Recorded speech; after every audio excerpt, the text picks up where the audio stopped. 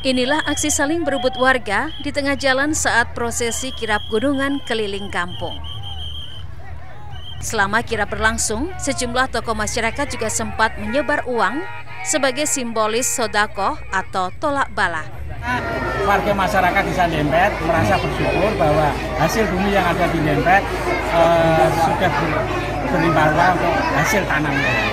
Dan kita merasa kita merasa bersyukur untuk hasil bumi tersebut. Makanya kita mengadakan sedekah bumi keliling desa biar warga masyarakat tahu bahwa rasa syukur kita kepada Allah.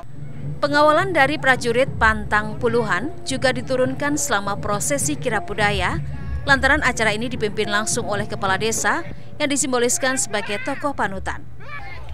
Usai berebut gunungan hasil bumi, warga kembali menyerbu jajan pasar yang belum didoakan hingga membuat petugas kewalahan. Susmintarta, Kompas TV, Demak, Jawa Tengah.